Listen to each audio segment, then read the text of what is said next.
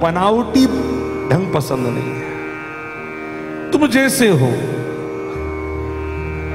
क्यों? इसके प्राण लिए, क्योंकि बनकर के आई थी। आवरण दूसरा था, भीतर कुछ और थी। अरे, जैसी है, वैसी चली जा अच्छा देखो, एक विशेष बात, एक भाव आ रहा है। भगवान श्री कृष्ण तो हर रूप में स्वीकार लेते हैं। लेकिन राम जी ने भी सूर्पणखा को स्वीकारा नहीं। ठीक? और भगवान कृष्ण ने भी पूतना को उस रूप में स्वीकारा नहीं, जिस रूप में आई थी। लेकिन कुबड़ी को स्वीकार लिया।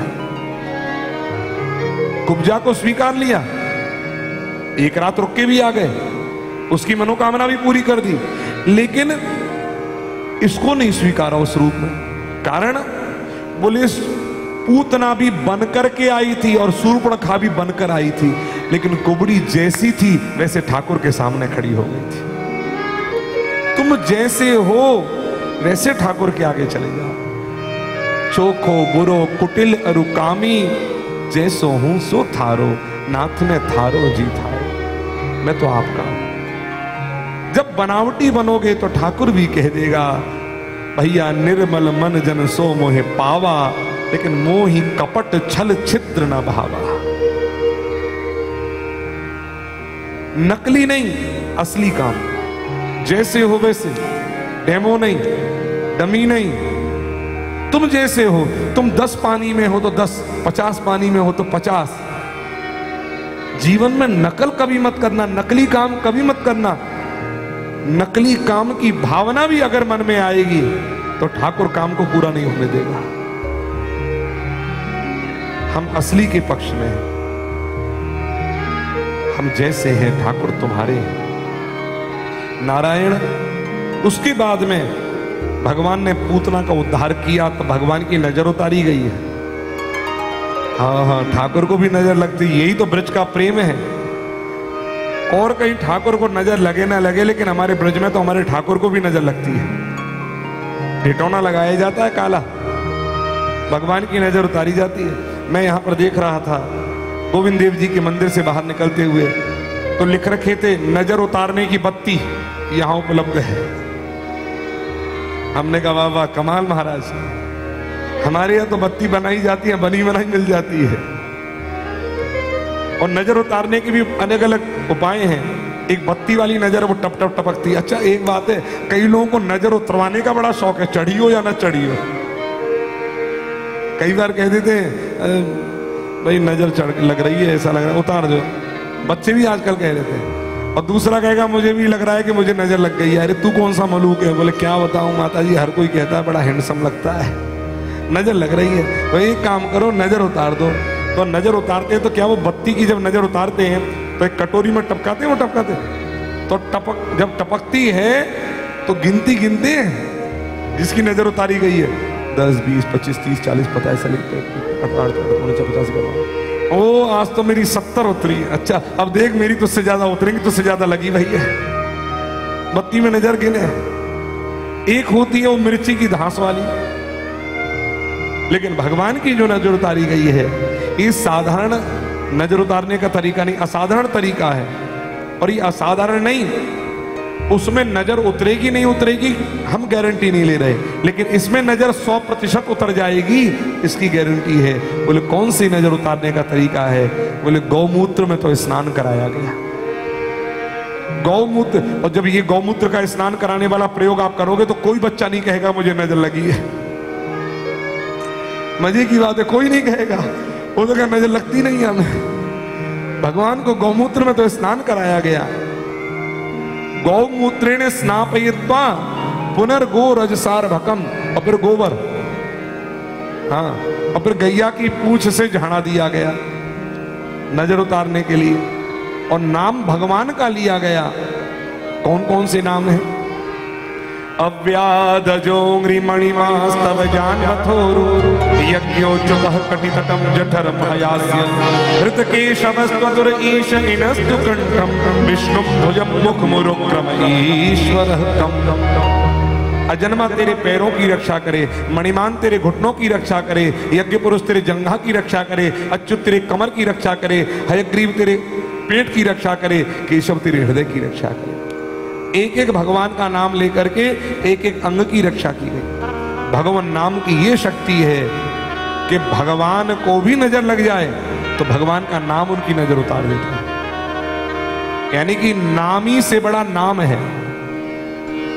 भगवान से बड़ा भगवान का नाम है। राम से बड़ा राम का नाम। एक बार देवर्षि नारद को विचार आया कि भगवान के नाम की परीक्षा ली जाए तो अयोध्या के राजा रघुनंदन राम बन चुके हैं, कौशलेंद्र हो गए हैं, कौशलपुर के इंद्र हो गए और महाराज, नारद जी महाराज का आगमन होता है। नारद जी को देखकर सब प्रणाम करते हैं। नारद जी भी अपने से पूजनियों को प्रणाम करते हैं, वशिष्ठ इत्यादि को। उसके बाद में नारद जी एक राजा के बगल में कान में एक बात कहते हैं, उस राजा का नाम है त्रिविक्रम। उस राजा से बात कही कि राजन, आज एक काम करना बोले देवर्षि आप जो आज्ञा करें। बोले, आज राम जी के गुरु जी आ रहे हैं विश्वामित्र जी। तो तू प्रणाम मत करना। अरे गुरु जी ऐसा क्यों कह रहे हो? आप जैसे संत अगर ऐसी बात कहेंगे, बोले, देख, तेरे को कितना आशीर्वाद मिलेगा। वो प्रणाम प्रणाम नहीं चाहते किसी का भी। जो उन्हें प्रणाम करे, उसके प्रति क्रोध आता है। इसलिए तू प्रणाम मत करना, तुझे बहुत आशीर्वाद मिलेगा। तो ठीक है महाराज, विश्वामित्र जी आए, सबने तो प्रणाम करी, और महाराज इन्होंने प्रणाम नहीं करी। विश्वामित्र को क्रोध आया। त्रिविक्रम सोच रहे हैं कि क्रोध उन पर आया जिन्होंने प्रणाम किया। हमने तो किया नहीं, हमारा क्या बिगड़ेगा? कहा, राम, तुम्हारी सभा में राजाओं का अपमान हो रहा है। बोले, क्या हुआ? बोले, एक बात बताओ, अगर तुम्हारी सभा में कोई अज्ञ बैठा हो राजा, जो तुम्हारे गुरुदेव को प्रणाम नहीं करता हो। त्रिविक्रम समझ गया, मैंने ही नहीं किया है। ये बात उल्टी कैसे हो रही है? त्रिविक्रम सोचे, कछु और घटना घट जाए। बोले तो उसका क्या दंड होगा? बोले, मृत्यु दंड। महाराज, वार्तालाप चल रही त्रिविक्रम सिंहासन से उठ करके वहाँ से चुपके से पीछे भागा। बोले, एक राजा ने तुम्हारी सभा में मुझे प्रणाम नहीं किया राम। बोले, किसने नहीं किया है? बोले, त्रिविक्रम राजा ने नहीं किया। राम जी ने देखा तो सिंहासन खाली। बोले, महाराज, गुरुदेव, मैं वचन दे रहा हूँ। आज सूर्यास्त होने तक उस राजा को मार दूँगा। बोले, राम, ऐसे नहीं। अपने प्यारे की सौगंध खाओ पहले। बोले, हे गुरुदेव, हनुमान से प्यारा मेरा कौन है? मैं हनुमान की सौगंध खा के कहता हूँ, आज सूर्यास्त तक उस राजा को मार दूँगा। राजा को समाचार मिला। राजा सरजू के तट पर कांपता पहुँचा। नारद जी हरि गुण गामते बीड़ा बजामते नारायण नारायण, त्रिविक्रम बोला महाराज, मरवावे के लिए मैं ही मिला, तुम्हें और कोई नहीं मिला एक्सपेरिमेंट करने के लिए। क्या हो गया? बोले, राम जी ने मारने की प्रतिज्ञा ले ली है। अरे बाबरे, जो रोग लगाना जानता है, वो रोग की औषधि भी जानता है। एंटी डॉट भी उसके पास होती है। तू चिंता क्यों करे? एक काम कर, हनुमान जी की माता अंजना माता के पास तू चला जा और उनसे अभय मांग ले। जब तक वो तेरे को अभय ना दे दे, तब तक रघुनंदन राम का नाम लेना नहीं तो ठीक। जाकर चरणों में गिर के प्रणाम करे। पाही माम, त्राही माम, रक्षा करें। मैं आपकी शरणागत हूँ, माता, रक्षा करें। बोले, क्या हो गया? बोले, किसी राजा ने मुझे मारने की सौगंध ले ली है। सूर्य तक आप मेरी रक्षा करें। मैं हनुमान की माँ हूँ। मैं वचन देती हूँ। तू मेरी शरण आया है। तुझे सूर्यास्त तक कोई नहीं मार सकता। हनुमान जी कूदते फांदते आए सेब खाते हुए अमरूद खाते हुए। हनुमान जी ने कहा माता जी ये कौन है? बोले किसी राजा ने मारने की प्रतिज्ञा ले ली है। मैंने अभय दे दिया है। अच्छा आपने अभय दे दिया? हनुमान रक्षा तुझे करनी है। आ, तो दे दिया अभय हमने भी। अब कोई नहीं मारेगा इसे। मुक्त रहे। बोले ऐसे नहीं पहले अपने प्यारे की सौगंध खाओ। हनुमान जी मुझे बचाओगे? अरे बाब रे रघुनंदन राम से प्यारा मेरा दूसरा दुनिया में कौन है? मैं राम की सौगंध खा के कहता हूँ कि सूर्य तक काल भी तुझे नहीं मार सकता। बता किस राजा ने मारने की प्रतिज्ञा ली है? बोले, आपके राम ने ही मारने की प्रतिज्ञा ली है। हनुमान बोले रे बेवकूफ़ नारायण। अरे दुष्ट, भक्त और भगवान की सौगंध दिलवा रहा है मेरे लिए, भगवान की। तेने पहले क्यों नहीं बताया? मैं सौगंध ही नहीं खाता। बोले, महाराज, अब तो खा लिए बोला बचाना पड़ेगा। अब तो पीछे रहे। रघुनंदन राम रथ पर बैठकर आए। हनुमंत लाल ने प्रणाम किया। रघुनंदन रावण मर गया, कुंभकर्ण मर गया। अब धनुष बाण लेकर किसको मारने जा रहे हैं? यदि कोई राक्षस छोटा मोटा होवे तो दास को आज्ञा कर दे। आप इतना कष्ट क्यों उठाओ? बोले, हनुमान, कोई राक्षस नहीं है, तेरे पीछे दुष्ट खड़ा हुआ राजा है वो। बोले, क्या करेंगे? बोले, मार दूँगा इसे। बोले, प्रभु, इसे आप नहीं मारो। बोले, हनुमान, मैंने प्रतिज्ञा करी है। बोले, प्रभु, मैंने भी वचन दिया हुआ है, प्रतिज्ञा करी है। अरे हनुमान, मैंने इसको मारने की तेरी सौगंध खाई है। बोले, प्रभु, मैंने बचाने के लिए आपकी सौगंध खाई है।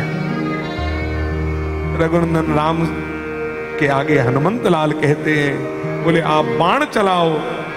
बाण पहले हनुमान की छाती को भेदेगा, उसके बाद ये राजा मरेगा।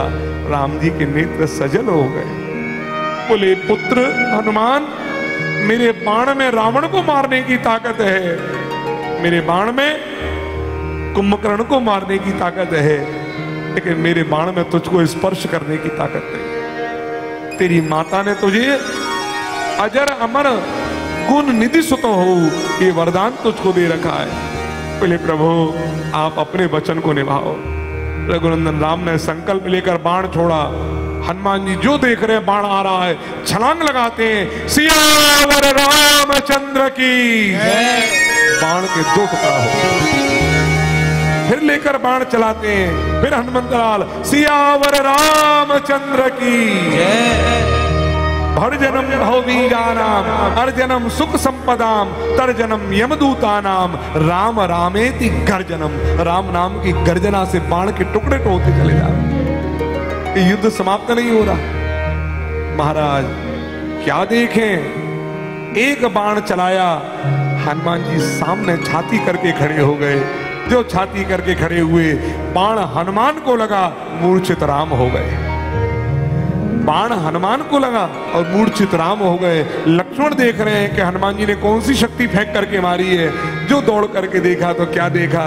बोले, हनुमान की छाती में तो नित्य निरंतर रघुनंदन राम का वास है। राम जी का बाण राम जी को ही लग गया है और राम जी मूर्छित हो गए।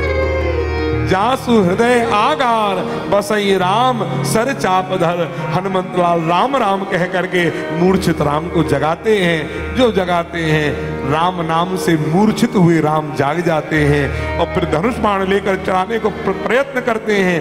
तुरंत त्रिविक्रम नारद जी के कहने पर विश्वामित्र के चरणों प्रणाम करते हैं। प्रभु, मेरी गलती हो गई, मुझे क्षमा करें। मैं अपने पूर्वजों सहित, अपने पूरे कुटुंब का प्रणाम आपको एक बार नहीं, सौ सौ बार करता हूँ, मुझे क्षमा करें। विश्वामित्र को दया आ गई। लेकर आए राम, युद्ध बंद करो। बोले, प्रभु, मैंने इसको क्षमा कर दिया। राम जी ने धनुष रख दिया नीचे। युद्ध बंद हो गया। किसी ने हमसे पूछा कि भैया, एक बात बताएँ, राम जी की प्रतिज्ञा कहाँ गई अब? रघुकुल रीत सदा चली आई, प्राण जाए पर बचन न जाई। अब राम जी की प्रतिज्ञा कहाँ गई? तो गोस्वामी तुलसीदास जी कहते हैं, माता की, पिता की, गुरु की और भगवान की वाणी। बिना विचारे ही शास्त्र सम्मत है तो बिना विचारे ही उसे कर देना चाहिए। उस पर किंतु परंतु का विचार नहीं करना चाहिए। जो गुरु की माता पिता की, भगवान की वाणी को विचार करता है, करूँ कि नहीं करूँ, वो नरक में जाता है और पाप का भागीदार होता है। रामचरितमानस में गोस्वामी जी कहते हैं मातु पिता प्रभु गुरु के पानी मातु पिता प्रभु गुरु के पानी बिना। ही विचार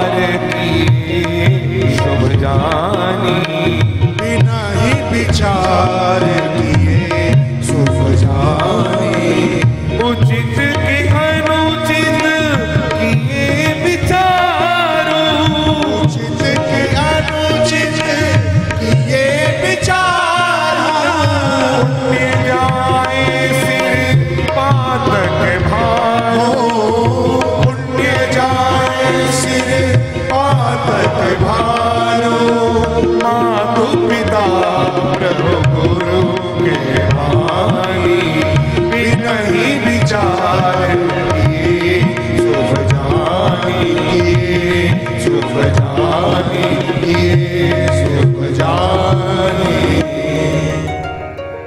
भगवान के नाम की महिमा, एक एक नाम, राम रामेति रामेति रमे रामे मनोरमे सहस्र नाम तत्तुल्यम। राम नाम वरानने राम जी के नाम का, नाम, राम जी के नाम की बराबरी, हज़ार नाम भी आप और किसी के ले लो, पर एक राम नाम ले लो तो हज़ार नाम भी राम नाम की बराबरी नहीं कर सकते। ये राम नाम की महिमा है। ये राम नाम, आपने देखा होगा, कभी कोई किसी से मिलता है तो राम राम कहता है। दो बार राम राम राम। जय श्री सीताराम सीताराम। राम राम। राम राम दो बार कहने का मतलब क्या है? बोले भैया राम राम दो बार कहते हो तो 108 मनिया की माला हो जाती है। बोले कैसे हो जाती है?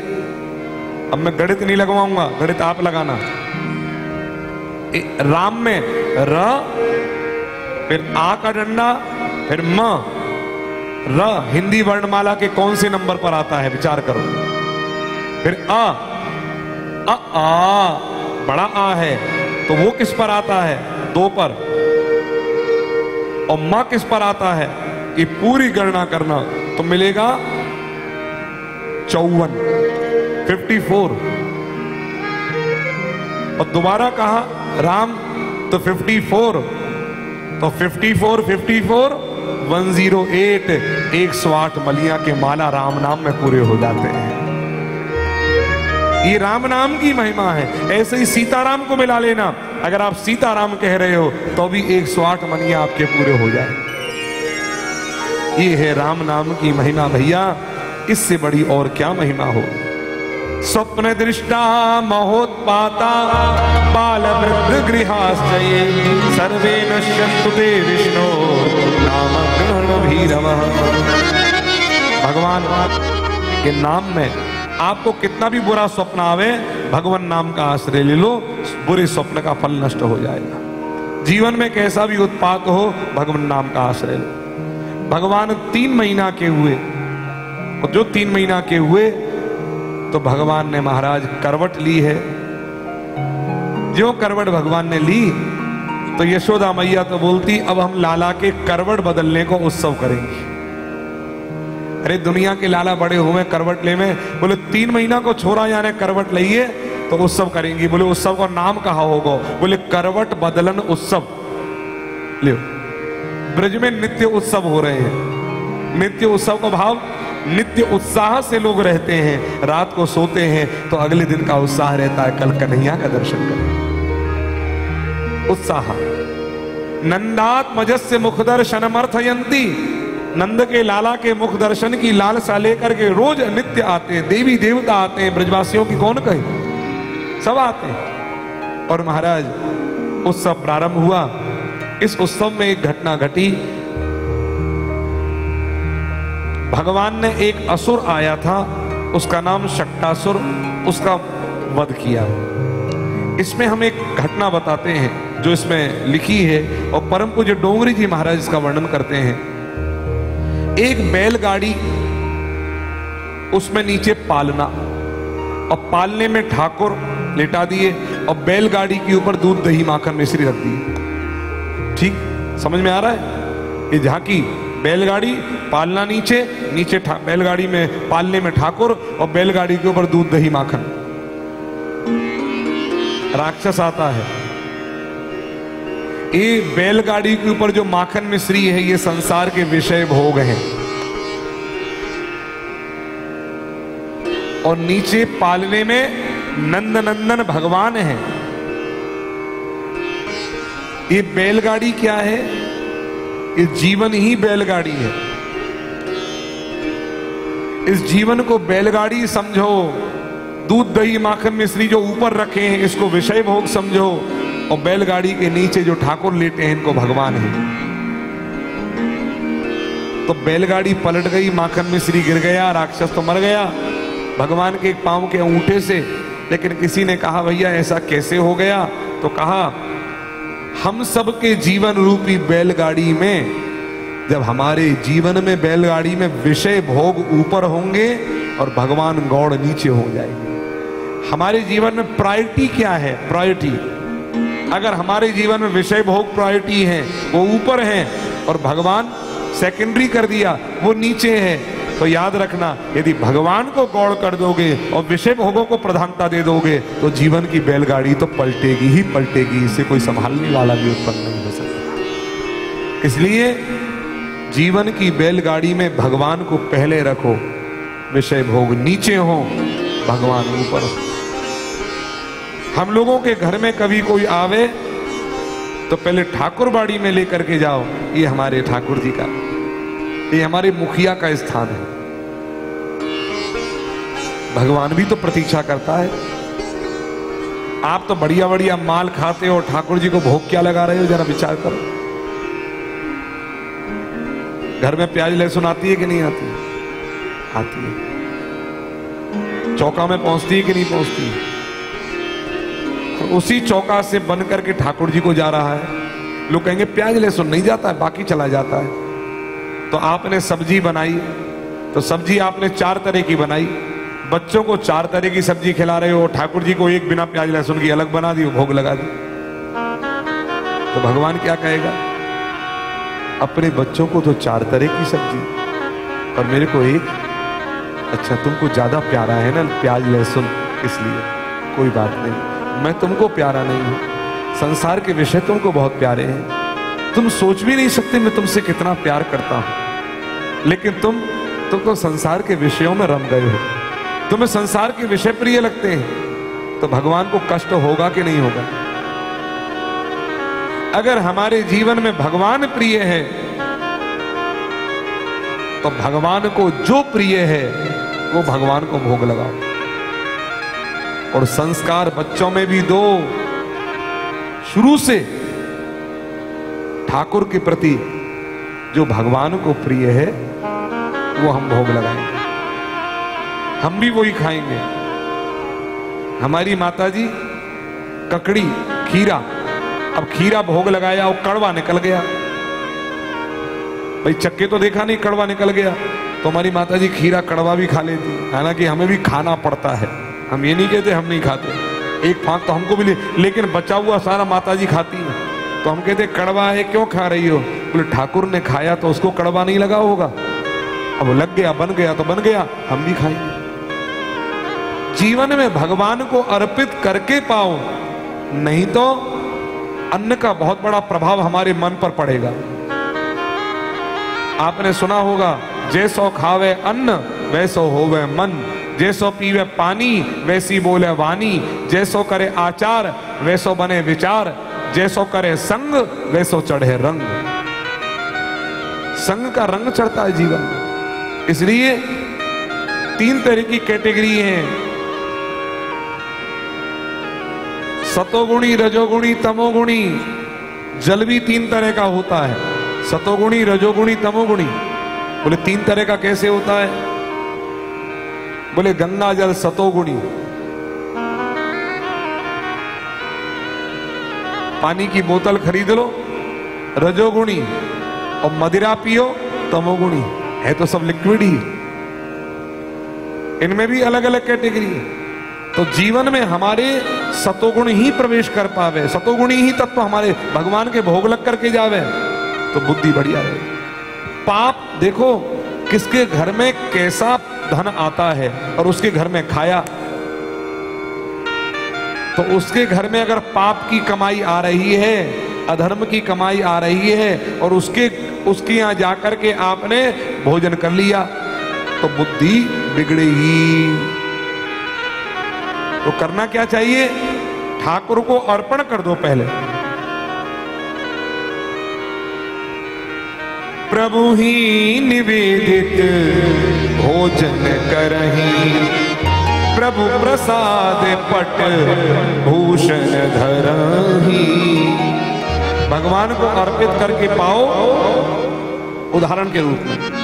अगर गोली लग जाए, किसी को गोली, हमने देखा है टेलीविज़न में, डॉक्टर जाने इसको भली भली प्रकार से। हमारे पवन जी को हमने कहा, आप हमें शक्ति का कपूर जैसे लगते हो। हमने कहा था तो दूसरे, तीसरे दिन तो बोलते हैं, आपको आज पता लगा ये बात। तो महाराज गोली लग जावे। तो जब चाकू से निकाली जाती है तो चाकू को पहले गर्म किया जाता है। मेरे आज तक समझ में नहीं आया चाकू को गर्म क्यों करते हैं अग्नि पर। बताओ। जहर हो जाएगा नहीं तो। क्या? भाई एंड वो हाँ हाँ हाँ सेप्टिक हो जाए, क्या हो जाए वो ही होता है ना। तो अग्नि पर उसे गर्म कर दिया तो अब वो पकेगा नहीं। सेप्टिक नहीं, यही तो बोलते हैं। बस यही समझ लो चाकू तो चाकू है।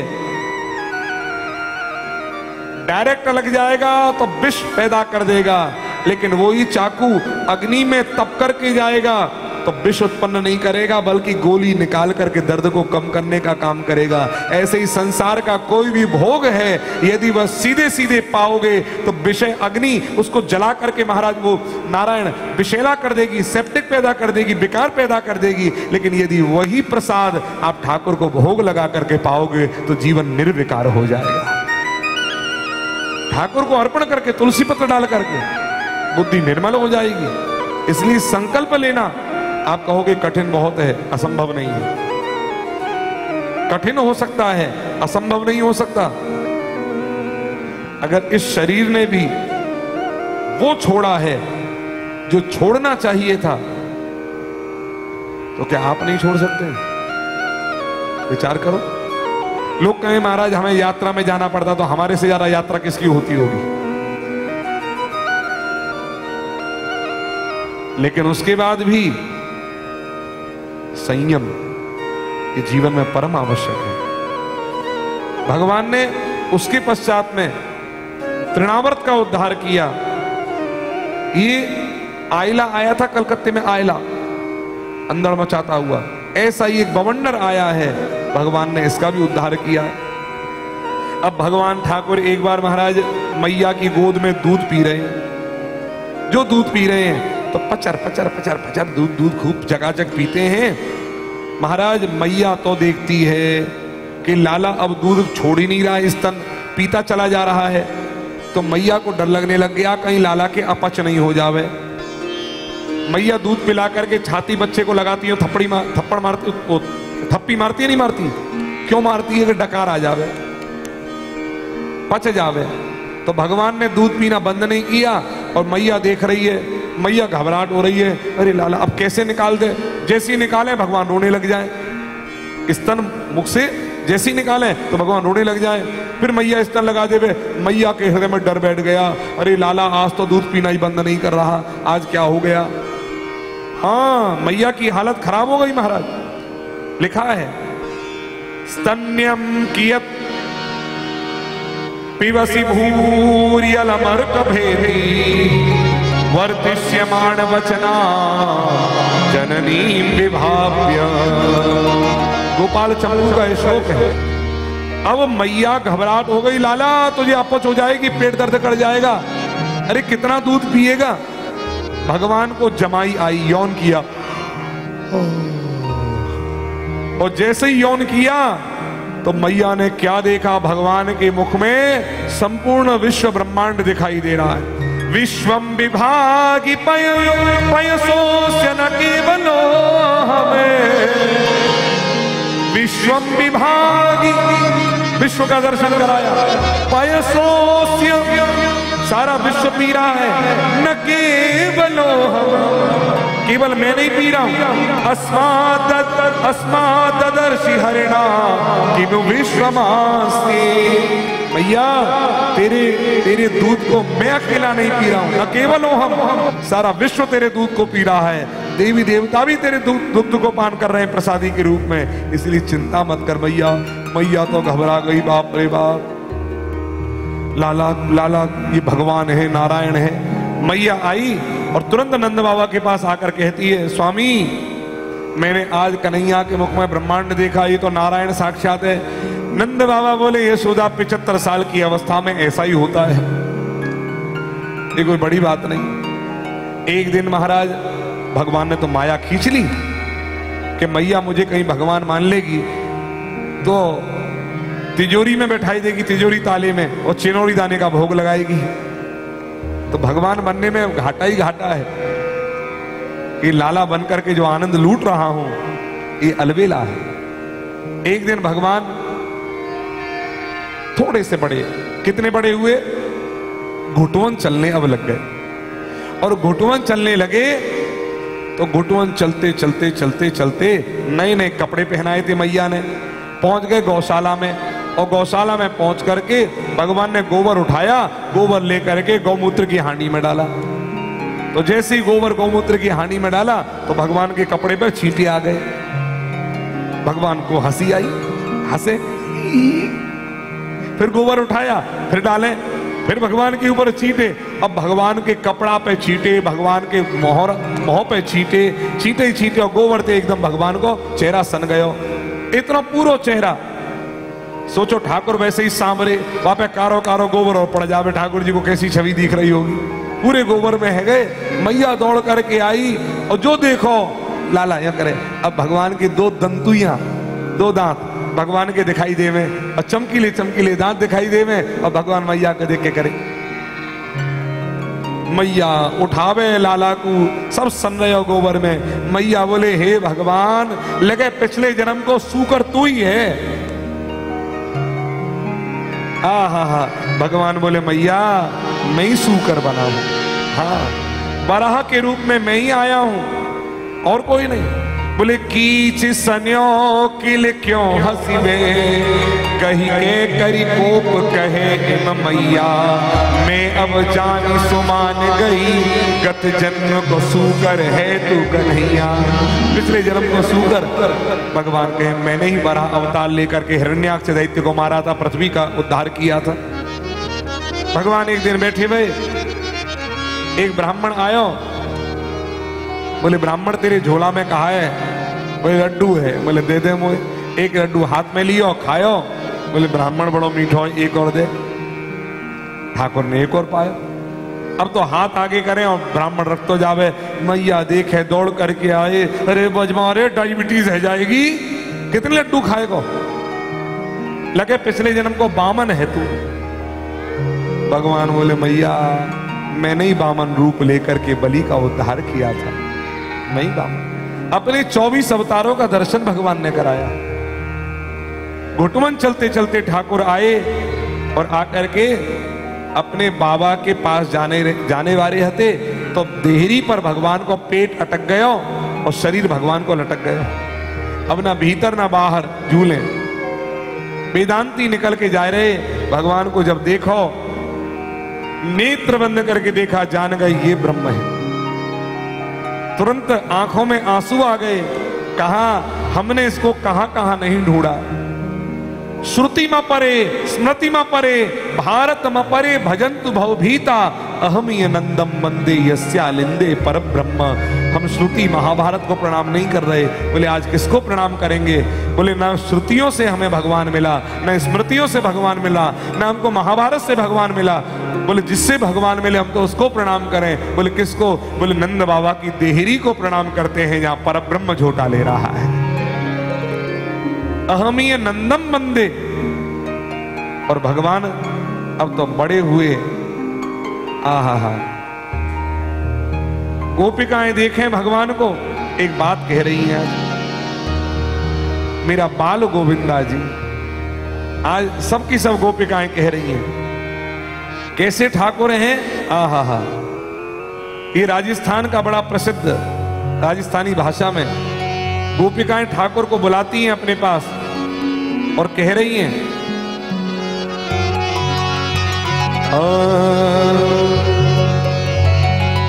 मारा बाल गोविंदा जी मारे घर रमवा आजो जी मारा बाल गोविंदा जी मारे घर रमवा आजो जी मारा बाल गोविंदा जी मारे घर रमवा आजो जी मारा बाल गोविंदा जी रे मारे घर रमवा आजो जी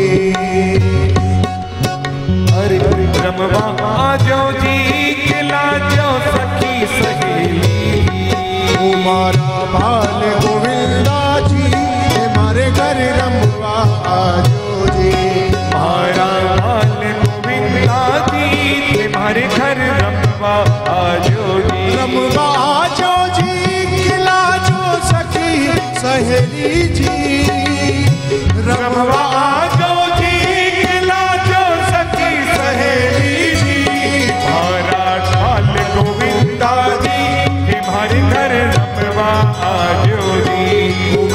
ठाकुर छैल छबीला जी तुम्हारे घर रमवा आजो जी ठाकुर छैल छबीला जी रे मारे घर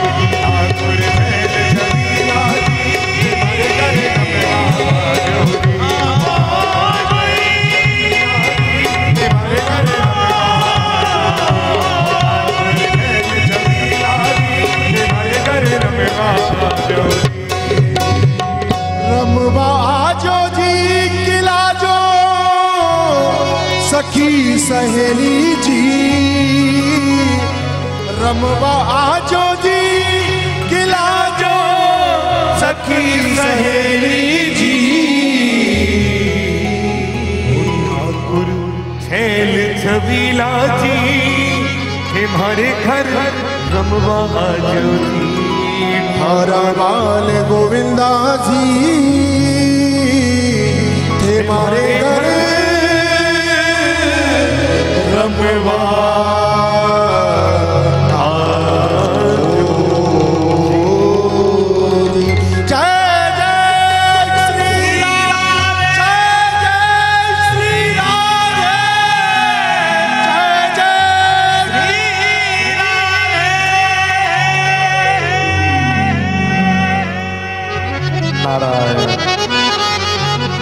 ब्रजवासियों को, गोपांगनाओं को सबको आनंदित करने वाली है दिव्य लीला, बाल लीला। इस लीला में जो माखन चोरी है, यह ये लीला माखन चोरी लीला भी भगवान की दिव्याति दिव्य लीला है। ये लीला जीवात्मा और परमात्मा के माधुर्य मिलन की लीला है। ठाकुर जी ये समझ लीजिए कि भगवान के द्वारा भोग लगवाने की लीला ही माखन चोरी लीला है। अच्छा एक बात बताओ। हम ठाकुर जी के भोग चार लड्डू का लगावे तुलसी पत्र डालकर एक भी कम होता है? और एक लड्डू कम हो गया तो क्या कहोगे? ये नहीं कहोगे भगवान खा गया। अरे एक लड्डू गया कहा यहाँ से? आपके द्वारा थाली में लगाकर ठाकुर जी के मंदिर में अगर लड्डू रख दिए जाएँ, और दो घंटे बाद देखो कम हो गया तो आप नौकरों पर संदेह करोगे। आप ठाकुर जी पर भरोसा नहीं करोगे कि ये भी खा सकता है। सही के गलत? क्योंकि हमारा भोग लगाना भी एकमात्र यह औपचारिकता मात्र रह गई है। ठाकुर जी पावे, ये चाहना नहीं है प्रबलता से। भोग लगाना है, ये औपचारिकता, और औपचारिकता में ठाकुर कभी नहीं खाएगा। और कभी ऐसी कोई लीला कर दे कि मान लिया, कोई आया जो आपके यहाँ काम करता है कर्मचारी, उसने देखा मुदक पड़ा है। जय ठाकुर जी खा लिया। तो आप चोर पर विचार करोगे। आप ये विचार करो उस जगह पर भी कि भगवान के आगे रखा था संभवतः उस चोर के भीतर बैठा हुआ माखन चोर ही आकर के इस लड्डू का भोग लगाकर जय हो जय हो। यदि यह विचार मन में आ जाए तो क्या दोष है? हमने तो ठाकुर जी के लिए लगाया है। यदि आँखों से देख लिया तो भी क्रोध ना करो। ये सोचो कि उसने क्या पाया। ठाकुर जी के भोग लगाया, प्रणाम के पा लिया उसने। पा लिया पा लिया। क्योंकि आपकी औपचारिकता है तो भगवान भी औपचारिकता के रूप में ही किसी के भीतर आकर के बैठ करके पा सकता है। लेकिन आपके अंदर अगर प्रबलता है तो ठाकुर ठाकुर सामने प्रकट होकर के पाएगा। हाँ। प्रकट होकर के पाएगा। मीराबाई के हाथ का दूध तक ठाकुर ने पिया। और भरोसा ना हुआ रावदूदा को। भरोसा ना हुआ रावदूदा को। मीराबाई को कहा, बेटी मीरा, एक काम कर, आज चार बुजारा नाथ के भोग लगा दे। चार बुजारा नाथ के भोग लगा दे। दूध का भोग। नारायण। मीराबाई गई, लेकर के दूध। ठाकुर जी के पास जाकर के मीराबाई ने दूध का भोग लगाया। प्रेम से, चाव से मीराबाई पाँच वर्ष की बच्ची है। उसके मन में तो यही है कि ठाकुर पाता है। ठाकुर दूध भी पिएगा। मीराबाई ने अनुनय विनय करी ठाकुर से दूध पीने के लिए। महाराज, खूब प्रार्थना करते हैं। मीराबाई के मन की प्रबल इच्छा। थे तो आरो गोवनी, मदन गोपाल, कटोरो ल्याई दूध को भयो प्रार्थना करती है, दूधा जी मैंने दई भिलावण जद में आई चाल। दूधा जी राव दूधा ने मुझे भेजा है, इसलिए मैं आई हूँ। धौली धेनु को दूध गर्म कर ल्याई मिश्री घाल, और ठाकुर ने नहीं पिया तो कहा, क्या ने रूठ गया? क्या ने रूठ गया मेड़तिया सरकार, कटोरो ल्याई, दूध को भरो? खूब प्रार्थना करती हैं, और अंत में जाकर के फिर कहती हैं, पहले किस विधि रूठ गयो छोगाना कारण कहो महाराज दूध कटोरो धरो सामने पीवण में का इलाज पीने में क्या लाज है? आप पी लो और नहीं पियोगे तो भूखा मरतारा चिप जासी थारा गाल है। कटोरो ले आई, दूध को भर्यो। और अंत में जाकर मीराबाई ने विचार किया कि शायद राजस्थान में एक माताओं की आदत होती है। पुरानी परंपरा चली आई है कि किसी के सामने नहीं खाती। पीट करके खा रही है। क्यों जी? माताएँ हैं या नहीं? कौन माताएँ ऐसी खाती हैं बताओ? ये लो। मुँह करके सामने नहीं खाए, पीट करके। तो ठाकुर भी कैसे मुँह खोलकर सामने से खा ले? तो मीराबाई ने भी पर्दा लगा दिया। धावल यारो पर्दो कीनो जोड़िया दोनों हाथ।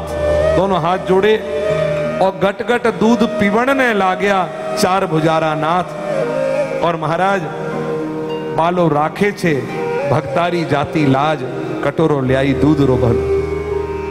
और भगवान ने पी लिया, दूध का गिलास खाली हो गया। राव दूधा के पास आई, दादो जा, दादो साहब भोग लगा दिया। देखा, दूध कहाँ है? और दूध तो पी गया। राव दूधा बोले, बेटी मीरा, ये झूठ बोलने की आदत तेने कब से सीख ली? बोले, दादो साहब, सच में चार गुजारा नाथ ने दूध पिया है। अच्छा? वो दूध कैसे पिएगा? अरे, कैसे पिएगा क्या? गट गट गट गट गट। चार बुजारा ना तो ऐसे दूध पिया, गट गट करके, गले से आवाज़ आ रही, गट गट गट। तूने देखा? नहीं, मैंने पर्दा लगा लिया था। तो तुझे कैसे पता? आवाज़ तो कान में सुनाई देती, आँखों में थोड़ी। पी गया दूध। मीरा, दूध तूने पिया ना? नहीं, दादू साहब, झूठ कह रही है। अरे बेटी, मूर्ति भगवान की है, दूध नहीं पीती। मीराबाई कहती है, मैं सच सच कहती हूँ दादू साहब, दूध उन्होंने ही पिया है। एक गिलास और दूध का दिया। लेकर के कहा, अब हमारे सामने भोग लगा। हम जाने के चार बुजार अनाथ ने दूध पिया। और मीराबाई आँखों में आँसू भरकर एक प्रसन्नता नहीं कि दूध दोबारा लेकर जा रही है। मीराबाई को कष्ट एक है कि राव दूधा दादो सा को भी आज मीरा पर भरोसा नहीं रहा। भगवान पर भरोसा नहीं कि दूध पिया। मीराबाई ने दूध का गिलास रख दिया। ठाकुर को कहा, मैं समझती हूँ। अभी अभी दूध पी के चुका है। फिर आ गई मैं बावली मीरा। तेरे आगे दूध का गिलास लेकर के। ये दूध तो तेरे को पीनो पड़सी अब ठाकुर। और मीराबाई की आँखें भर आई। मीराबाई कहती है, हे गिरधर गोपाल,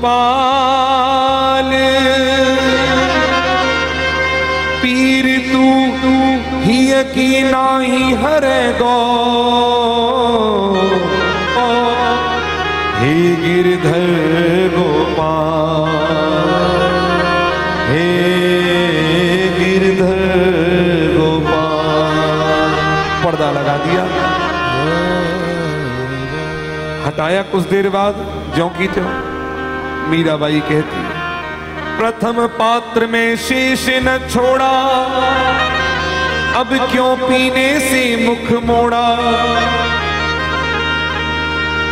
पीले थोड़ा दूध देवता तेरो कह बिगड़े हो पीर तू हिया की हरे।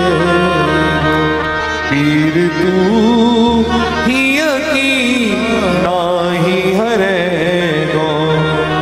दूध कटोरों भर के ल्याई संग पितामह परिजन ल्याई। हे आई। यह सब समाज मेरो उपहास करे गो पीर तू। नाही हरे गो पीर तू। यकीना